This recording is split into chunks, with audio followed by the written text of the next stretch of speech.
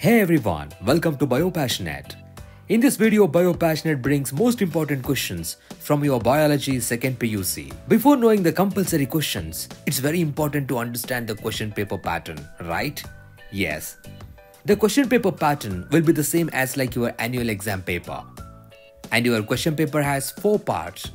Part A, B, C, D. And part D has two sections where each question carries 5 marks. And one of the best advantage of the new pattern of question paper is multiple choice questions and fill in the blanks. You can score up to 20 marks without struggling. For your midterm exam, 6 chapters are included. Here in this video, I am just trying to give all the important questions along with the answers. Means scheme of evaluation.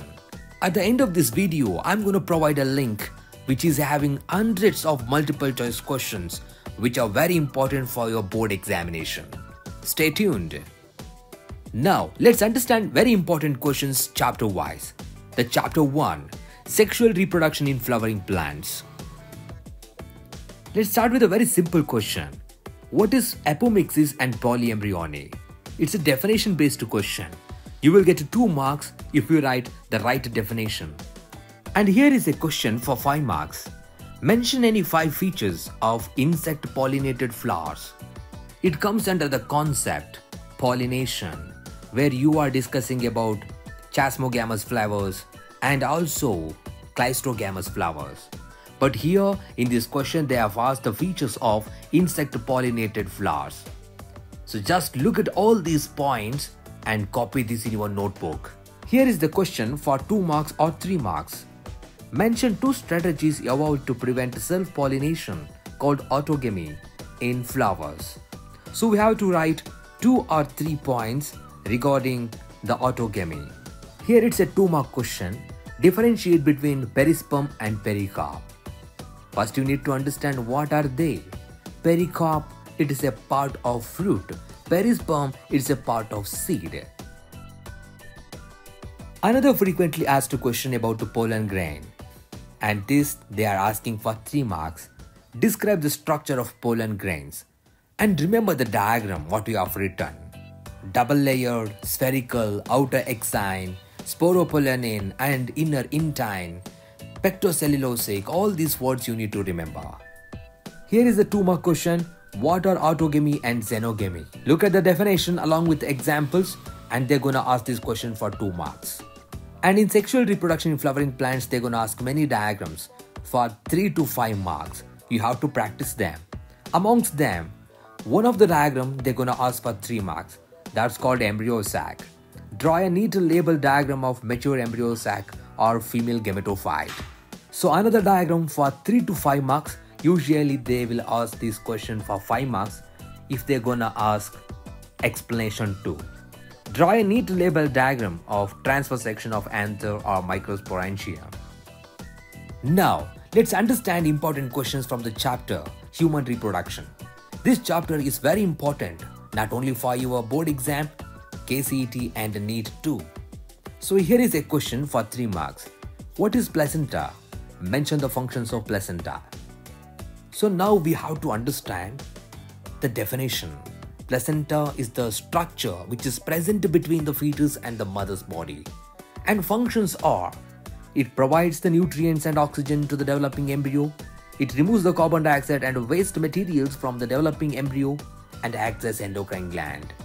You should remember the hormones which are being produced from the placenta too. And the second question explain the process of spermatogenesis with a neat labeled schematic representation. So here you can remember two important diagrams, schematic representation, they're gonna ask for 5 marks, spermatogenesis and oogenesis.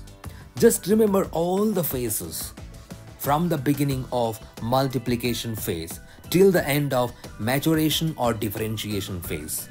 So these two are very important for 5 marks. Now another diagram based question for 3 marks. Explain the structure of human sperm with a neat labeled diagram. You know, it's a very simple diagram where we are writing the head, neck, body, and tail. Body in the sense middle piece.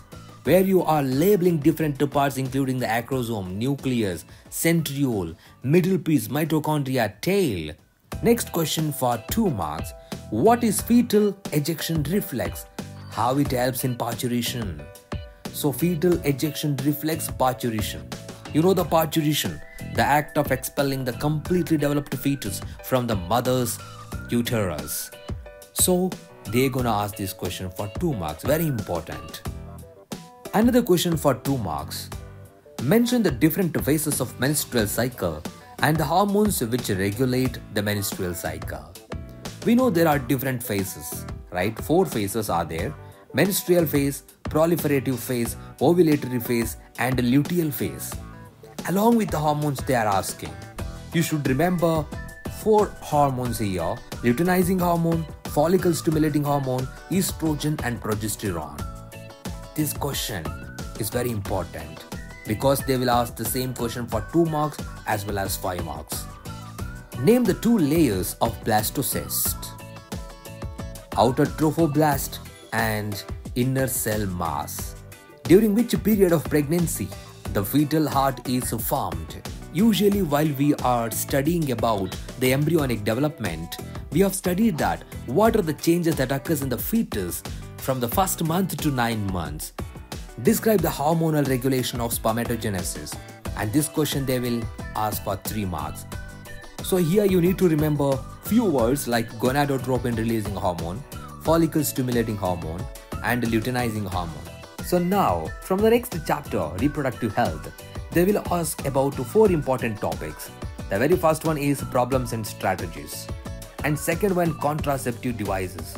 Next medical termination of pregnancy and the next one is art assisted reproductive technologies. So the very first question is about amniocentesis for 2 marks. What is amniocentesis? Give one reason for statutory ban for amniocentesis. A fetus determination test based on the chromosome pattern in the cells found in the amniotic fluid surrounding the developing embryo is called amniocentesis. And why they are banned? Because to check the female feticide. Mention the natural methods of contraception. So in your textbook they have given three periodic abstinence, coitus interruptus, lactational amenorrhea. Now another important frequently asked question is what is MTP, medical termination of pregnancy? Mention the safe period for MTP.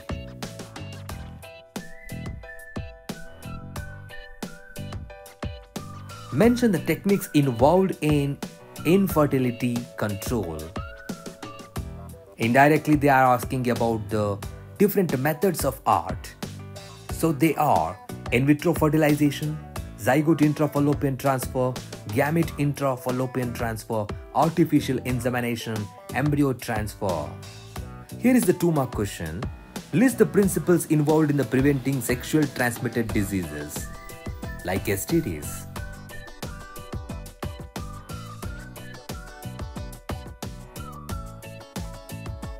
Most frequently asked and most important questions for your board exam that is list the different types of IUDs how do they function? They used to ask about the principles involved in it along with examples. You should remember non-medicated IUDs copper releasing IUDs and hormone releasing IUDs. So now let's discuss about important questions from the chapter principles of inheritance and variation so for 2 marks they are asking definition based questions like what is linkage and recombination? Mention the karyotype of chromosomal disorders. So you know three different chromosomal disorders they have given in your textbook. Down syndrome, Klinefelter syndrome and Turner syndrome. So we have to write the particular karyotype for them. So another question is here for 3 marks. Explain the sex determination mechanism in human beings. So where we are uh, talking about the chromosomal number in parents as well as offsprings. And remember, we have to write the schematic representation for this question. If you are able to write the schematic representation, you will get full marks. Write a note on Klinefelter syndrome. So here they are asking about one particular chromosomal disorder or the syndrome. And the same question it will repeat for the different chromosomal disorders too like Down syndrome and Turner syndrome.